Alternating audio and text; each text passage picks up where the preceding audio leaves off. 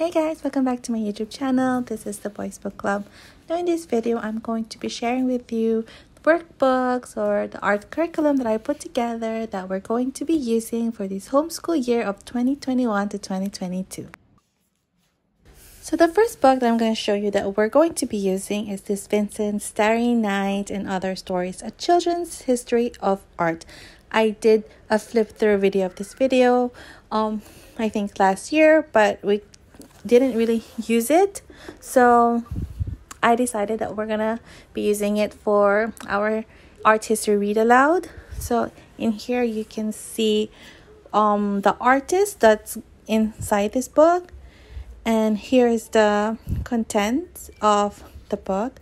What I like about it is the stories are not so long. I think they're around two to three pages long and has beautiful illustrations inside as well and I think it would be a perfect um, short read aloud before we start our um, art, like our art workbook.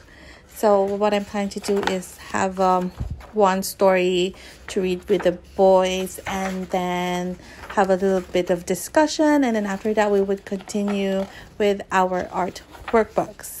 I did go through some of the stories already and I just read it for myself. I've always been um, interested in art since I was young, so I just was browsing through it and I like how the stories are very engaging and I think my kids are going to like it too.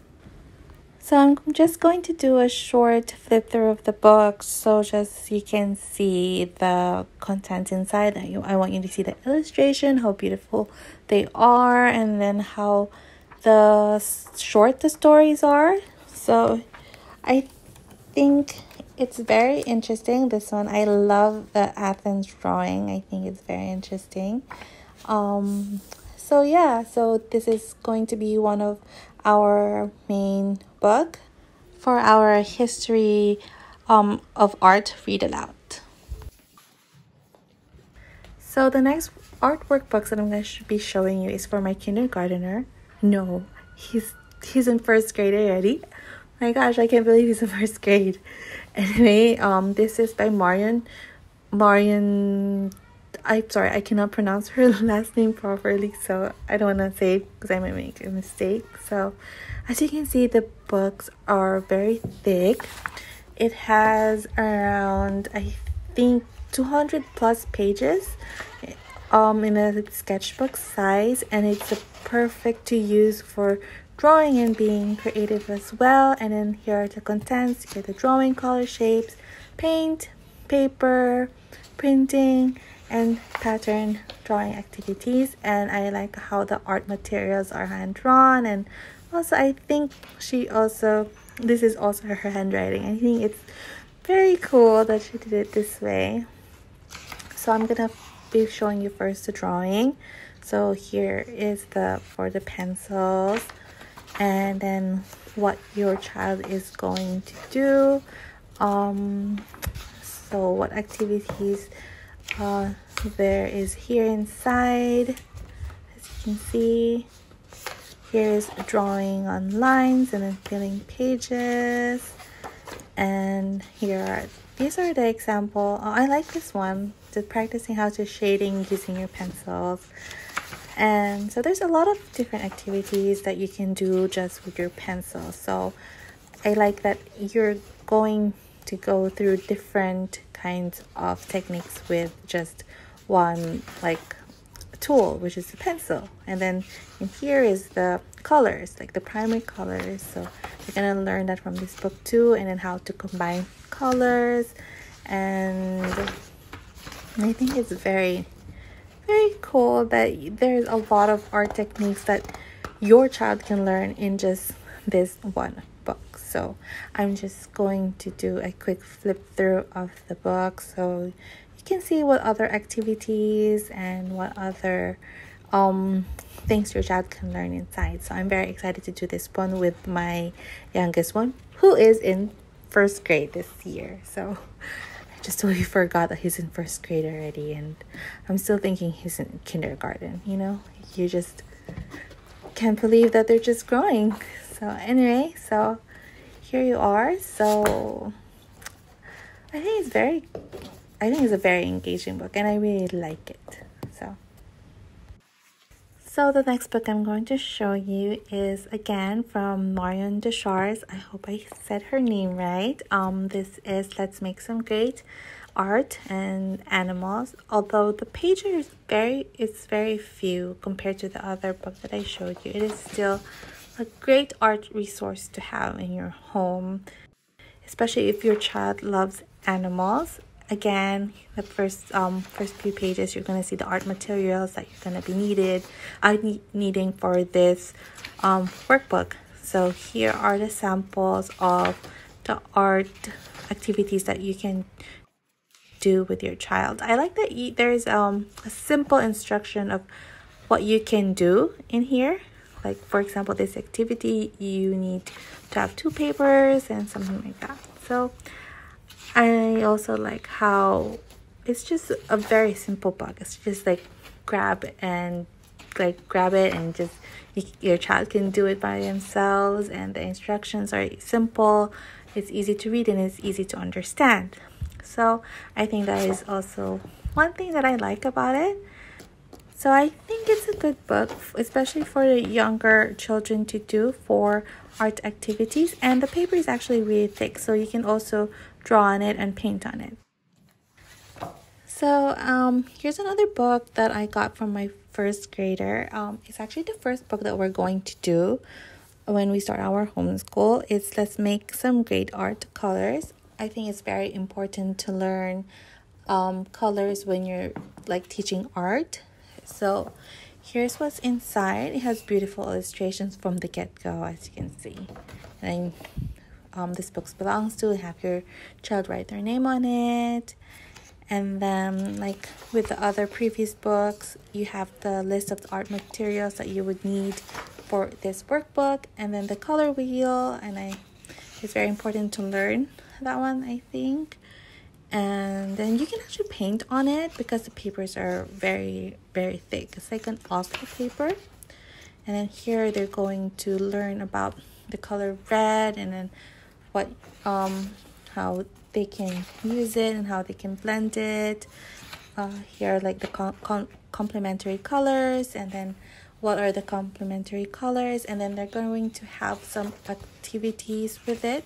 Like in here they're going to make their own and then when they blend orange. So it's a very uh, it has a lot of activities that just involves colors itself. So i really like that. So we're gonna go through this book first before we do the art playbook. So i want him to finish this book first and just learn more about colors. So the next book i'm going to show you is for my fourth grade. This is draw Paint, Print, Like the Great Artist. Again, it is by the same author. I just love all her books. What I like about this book, I think it makes learning about art and the different artists fun. Um, because this book has around 30 artists inside. Then I think, and again, you can see the list of art materials that you would be needed for this workbook. And I think most of, we already have most of them so I don't need to buy like new ones. And also this book has around 30 great artists and it will encourage your child to try out their techniques and the art styles from their different artworks. So i think that's really cool. Like here you can see their um the instructions aren't very hard to follow. It's easy to read, and then the, it's easy to find the materials, and then most of the activities is you can do in the workbook. You don't need to like another paper, but if you don't want to work on the workbooks and you just want to preserve it as a like for studying, then you can have your child do it in another um, pa- paper or another sketchbook but we would be probably be using this one. We would probably be drawing here because the papers are actually really thick so we don't need it to buy another sketchbook. So yeah so here are the sample of the pages and some of the artists that you can see inside. So it's I think it's the book is very well made and well written as well.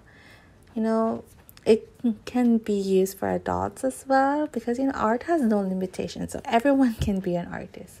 So I think this book really brings out everybody's creative side. So I really like it.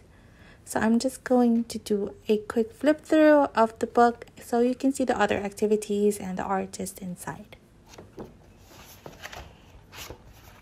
And here at the back of the book, you can see some of the artists here. like you can have your child read it. Example, they're doing one artist from this book, and you can have your child read the facts about the artist at the back. The next workbook I'm going to show you is again for my fourth grader. This is Let's Make Some Great Art by the same artist, Marion Deuchars. I hope I said your name right. If I didn't, I'm sorry. And, you know, like the other book, it has a lot of pages. I think it has around 200 pages. It has a lot of drawing and painting and sticking and cutting. I think it just brings out the creativeness and the imagination of the child. And again, in here you will see the art materials that you would be needing for this book. And here, here is a sample on page for Van Gogh and then the activities that your child is going to do um, after reading a few facts about Van Gogh. And what I like about it is that it has a lot of inspired masterpieces from different artists, and I think there are around 12 in this book, like Van Gogh and Pablo Picasso, and so on. So, like other books, the instructions are easy to follow and easy to understand.